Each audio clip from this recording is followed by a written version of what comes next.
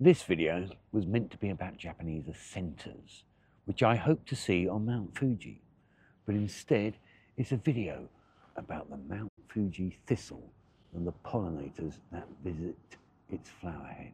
Towards the end also there's a little bit about bears in Japan because I encountered a sign. Day one up in the clouds.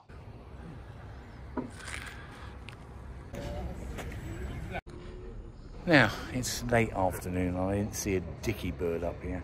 No Japanese accentors, no Azure-winged magpies, Japanese woodpeckers. But I did see some wonderful thistles. So these uh, these thistles up here, the fifth station at uh, Subashiri Trail, they're pretty incredible. And uh, I just had an elephant hawk moth. Well, I presume it's an elephant hawk moth.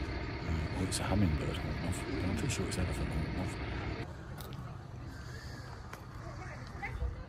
Pretty cool. Up here in the clouds below Mount Fuji. Even a little bit of green roofing going on on Mount Fuji. Day two was a perfect morning, and as I drove up in the taxi to the fifth station, I got a perfect view of Mount Fuji, but with no snow on it.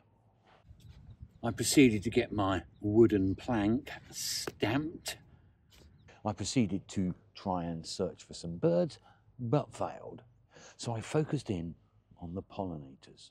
What was really interesting is many of the butterflies and moths that I saw are ones that I could see here in Kent in southeast England.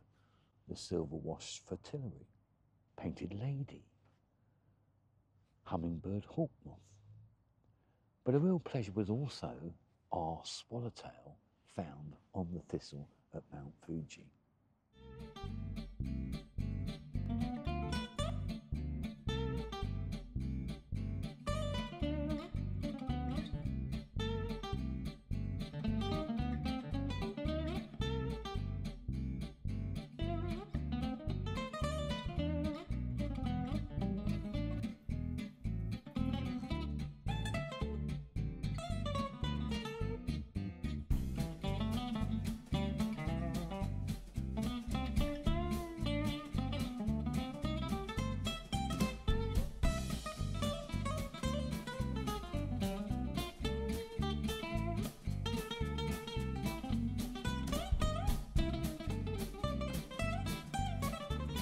Returning to Gotemba, I encountered a sign.